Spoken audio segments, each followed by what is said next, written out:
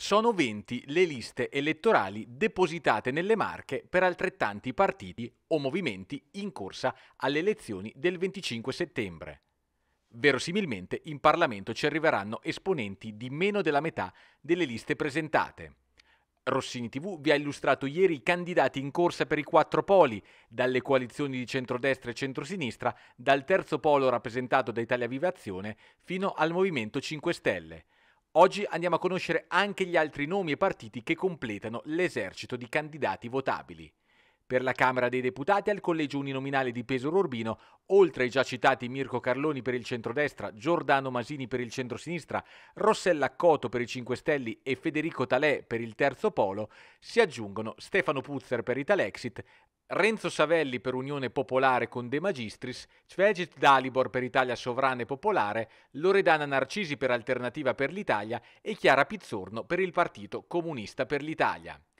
Al Senato, al collegio uninominale Marche Nord Pesaro Ancona, Antonio De Poli per il centrodestra, Marco Bentivogli per il centrosinistra, Samuela Melini del Movimento 5 Stelle, Elena Fabbri per il terzo polo, Emanuela Merli per Italexit, Marco Bini per Unione Popolare con De Magistris, Paola Raponi con Italia Sovrana e Popolare, Gabriele Cinti di Alternativa per l'Italia e Stefania Settimi del Partito Comunista.